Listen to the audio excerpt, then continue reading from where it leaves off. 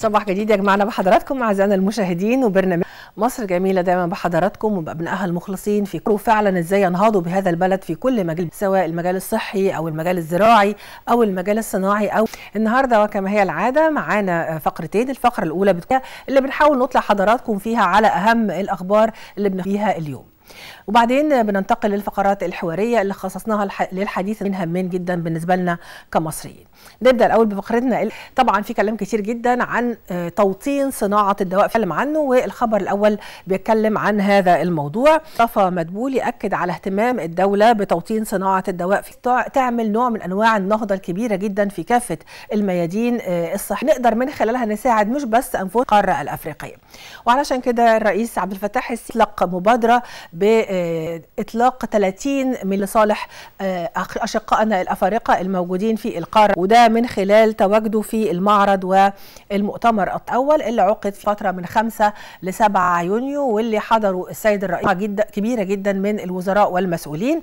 والخبر الثاني فبيتكلم عن الاستثمار وكلنا الاستثمار هو النجاة بالنسبة لنا كمصريين إحنا محتاجين نجتذب رؤوس الأموال القطاع الخاص سواء القطاع الخاص المحلي أو الأجنبي لمشي المشروعات الكبيرة اللي بتقوم بيها والمشروعات الطموحة. إحنا عندنا طبعا صندوق استثماري والاستثمار حقيبته رئيس الوزراء مباشرة لأهمية هذه الحقيبة على حل كل المشاكل الخاصة بالمستثمرين خاصة الأجانب منهم.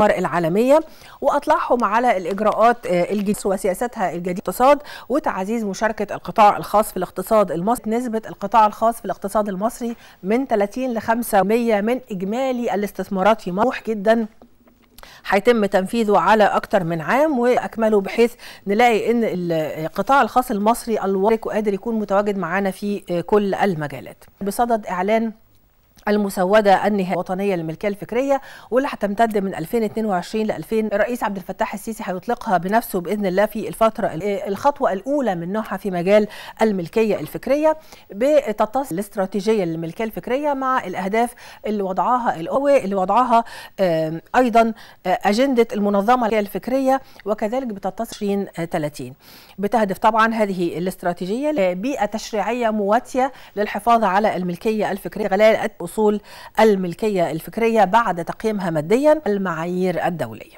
الحوار الوطني لابد أن يكون هناك بالفعل تم اختيار دكتور ضياء عاما لهذا الحوار الوطني ومحمود فوزي ليكون رئيسا للأمانة الفنية للحوار. العام الحوار الوطني هيكون التشاور مع كافة الأطراف السياسية في هذا الحوار بالإضافة إلى أن الأكاديمية الوطنية للتدريب الحوار لوجستيا وهتوفر له الأماكن وهتوفر الحلقات النقاش وطريقة إدارتها. أعلم الأحزاب والسياسيين أنها سعيدة باختيار ضياء رشوان منسقة سعيدة أيضا باختيار دكتور محمود فوزي في منصة العامة الفنية للحوار. مجال التكنولوجي واهتمامها بمجال مصر أطلقت بالأمس القمر الصناعي واحد وده بيعد إضافة لمنظومة مصري وإضافة للمنظومة التقنية بوجه عام. في القمر الصناعي مزود بأحدث الأجهزة وخدمات إنترنت وهيستطيع كمان إن هو يغطي مش بس ده هيمتد للمناطق النائية في مصر اللي كانت بتعاني من أيضا. إلى القارة الإفريقية. فألف مبروك إطلاق القمر الصناعي نايل 301 وخبر جميل نختم بيه مجمل النهارده. هيكون معانا بعد الفاصل النهارده فقراتنا فقرتين الفقرة الأولى هتكون عن العلمي الإفريقي اللي تم انعقاده في مصر في الفترة 7 يونيو. وهيكون معانا الأستاذ دين الكاتب الصحفي المتخصص. هيكلمنا عن أهمية انعقاد مثل هذا المؤتمر الطبي والمعرض الطبي. طبعا ده الأول من نوعه في مصر. أكيد له أثار يعني جيدة جدا على مستوى في المجال الطبي في القارة الإفريقية. وتعاون القارة الإفريقية مع دول ومسؤوليه دول العالم على إنها تساند إفريقيا والدواء لأن إحنا شفنا قد إيه كان في مشاكل في لقاحات كورونا بالنسبة للنقش ده كله إن شاء الله في هذه الفقرة. أما الفقرة الثانية فهتكون جديدة والمتجددة وإحنا دايما بنقول إنه أحسن نظام للطاقة متنوع. ما نقتصرش فقط على الطاقة الأحفورية ونلاقيها بتخلص على الطاقة المتجددة ولكن نوع من المزج بين أنواع الطاقات المختلفة. عن التغيرات المناخية. عارفين إن الطاقة الأحفورية لها ولذلك الاتجاه إلى الطاقة المتجددة لابد أن يكون سريعة وده اللي مصر عملته اهميته بالاعتماد على الطاقات كبيرة جدا زي محطة بنبان مثلا بأسوان طاقة الرياح وغيرها من أنواع الطاقات الأخرى. النهارده هنناقش ضيفنا الدكتور ياسر محمد مصطفى مدير معهد بحوث البترول. الطاقة تأثيرها في تخفيض الانبعاثات الحرارية وتأثيرها على المناخية.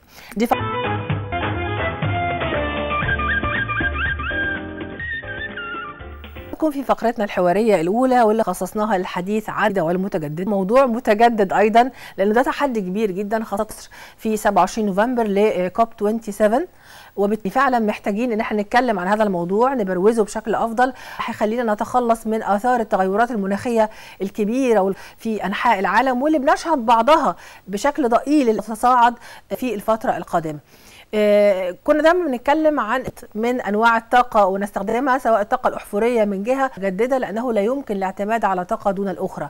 ولكن الآن عن آه، زيادة حصة الطاقة الجديدة والمتجددة في هذه علشان نحافظ على العالم والبحث العلمي بيحتل دور كبير جدا في آه، هذا الموضوع وفي اكتشاف الطاقة الجديدة والمتجددة والتعامل معها والنهاردة هنتكلم عن البحوث العلمية اللي بتتكلم عن الطاقة المتجددة وهنتكلم عن بالطاقة المتجددة مع ضيفنا دكتور ياسر ياسر مدير معهد بحوث البترول. أهلا بحضرتك يا دكتور ياسر. أهلا وسهلا بحضرتك. طبعا حضرتك يعني مدير معهد بحوث البترول والبترول بالأساس هو طاقة جديدة طاقة أحفورية. ولكن المعهد أكيد مهتم بكل. فنتكلم الأول عن آه، اهتمامات هذا المعهد وأنواع البحوث. طبعا أنا عايز أقول إنه العالم كله مهتم حاليا بالكن. آه، كان في مناسبة قريبة جدا اللي هو يوم البيئة العالمي خمسة آه، يوم العالم بيوم. صحيح. لأن طبعا بدأ من سنة 1000 مؤتمر ستوكهولم قال إن إحنا لا نملك سوى أرض واحدة لنا التعامل والحفاظ على البيئة. من سنة ثلاث وقت بقى بدأ الاحتفال بيوم البيئة العالمي من خمسين سنة إحنا كلنا شفنا إن في تغير مناخي وفي مشاكل طاقة وتنوع مصادر الطاقة. وإحنا كجزء من البحث العلمي التابعة لوزارة التعليم العالي والبحث العلمي ورئيس البترول فمهتمين جدا بموضوع. أنا عايز أقول لحضرتك إن مصر كانت سباقه لأن لو رجعنا إلى رؤية مين؟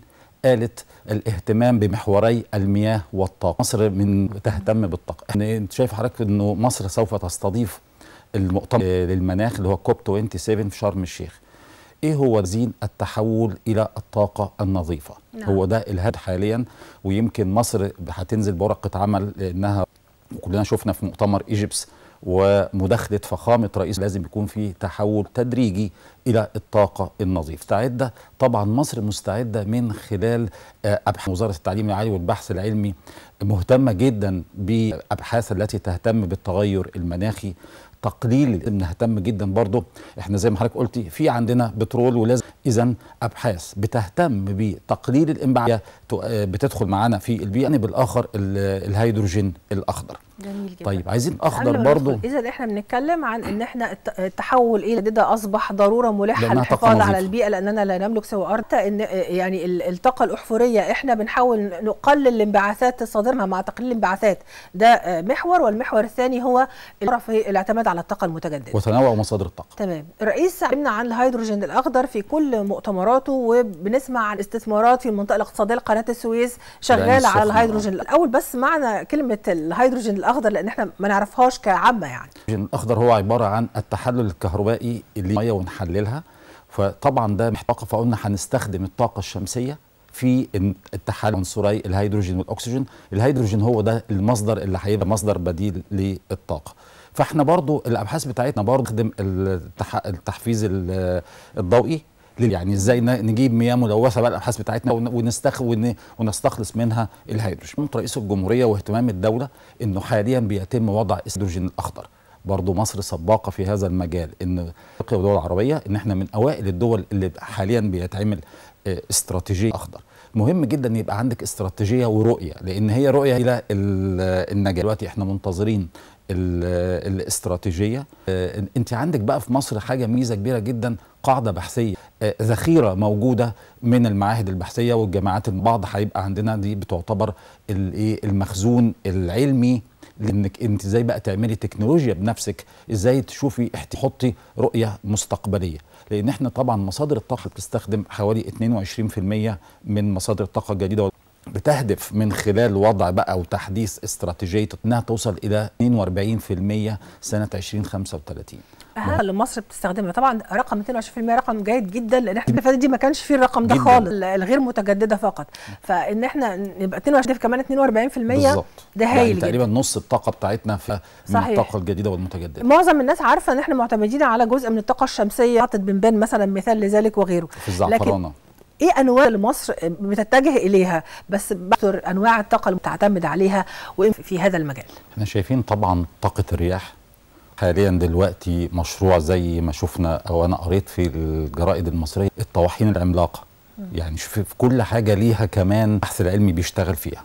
فطبعا لما تبقى عملاقة هتدي آه، فالمصدر ده مصر بتقول أو بتعبر الطاقة زي ما حضرتك قلتي وده هنا ال- المهم جدا.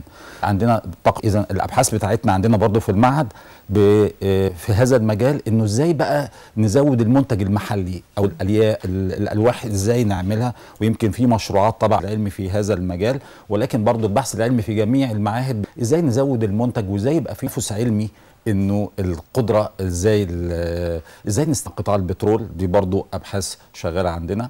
هنلاقي الطاقة النووية وشايفين برضو إنها بتمثل حاليا بنسبه هدف إنها توصل بنسبة 3% مهم جدا برضو وهي دي آه، مهم جدا إنه زي ما قلنا ال- ال- العملاقة. الهيدروجين الأخضر طبعا وكلنا ووضع استراتيجية كلها. مصر يمكن في الفترة اللي جاية آه، هتستخدم بقى آه، بناء محطات وتصدير هذه برضو الغاز الطبيعي وإن هو برضو الإحلال فهو برضو طاقة نظيفة. مهم جدا برضو. يمكن احتفالا بقسم التحليل المعمل البحثي في جاب فيه إزاي اللي هو الطاقة آه، كيميائيه إزاي برضو البطاريات الليثيوم هذا المجال ونزود ال lifetime بتاعها. شايفين العالم هيتجه إلى السيارات الكهربائية ويمكن أنا مع إحدى الشركات آه، الأسبانية وينزلوا بقى كتير جدا وتبقى إزاي بعد كده الشحن سهولة الشحن. في عملية التخزين ودي ال- الأبحاث ماشية إزاي يخزن في آه، في مدة أطول. أما هو الطاقة موجود جدا وسهل جدا بس إزاي نخزنه؟ هي دي الأب.